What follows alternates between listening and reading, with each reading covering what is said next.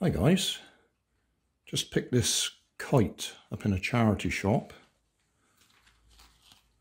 Mint's Colourful Life Large Cobra Kite with Long Tail. Cost me £1.99. Made in China. Contact us at Mint's Colourful Life at hotmail.com. Hmm, wonder if that's still relevant. Anyway, having taken it out of the package, which is a rather nice bag, a little bit faded, so I think it's fairly old. We've only got three fiberglass spars, and we should have four. There's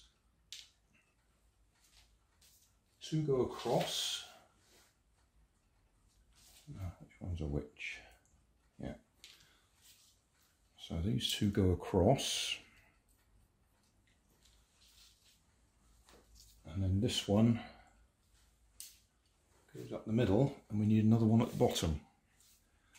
I've looked through my bits and pieces. I've got this bit of carbon fibre tube from an old kite that was broken.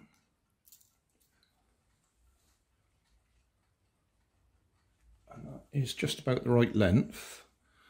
I've cut up a tin can and folded it into a tube.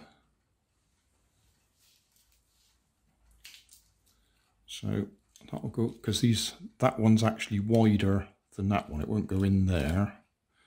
It's about the outside diameter of it. So so I've cut up a tin, tin cube, tin cube, tin can.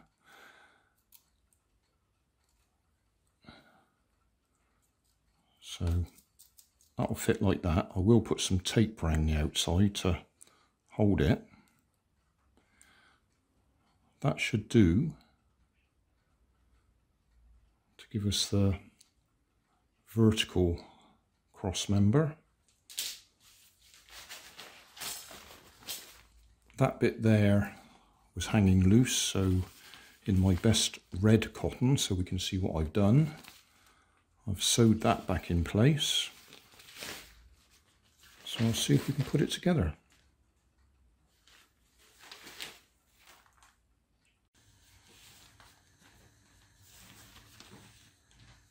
Right, our vertical spar is in place. The only thing is, I've now noticed that this one has obviously been broken on the end, so it's a bit shorter than it should be. If I stretch it out, we're probably about an inch short. I could probably put something inside that to lengthen it, just to give it that extra bit so it holds the sail stretched. I may take the easy option here. Barbecue skewer, it's about three millimeter diameter and that fits in that hole. So I reckon I'll just use a bit of barbecue skewer, wrap a bit of tape around it and that'll give us, oh and glue it in place we just need about that much extra. So that'll probably do the job. Right beginning to lose the daylight. It's uh, quarter past six now. But I've extended this.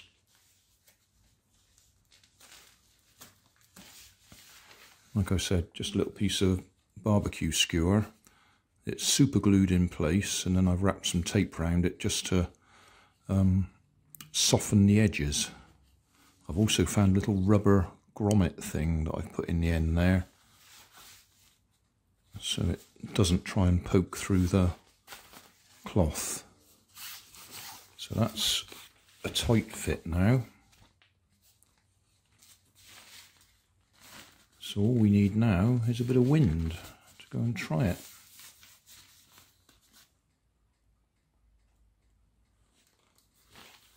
I don't know what Jigu is, whether that's Chinese or whatever. It's a little bit dirty, but I don't think I'm going to worry about that either. That's probably where it's landed on the sand on the beach. Wet sand. So we might have another video out of it when we actually get it flying. One final thing, just looking at the kite string here. That's in a bit of a mess too.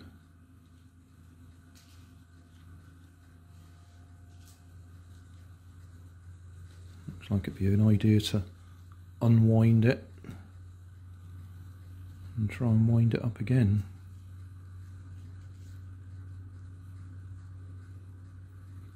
Oh, it's not too bad. It looks like they've just got a loop in there that needs sorting.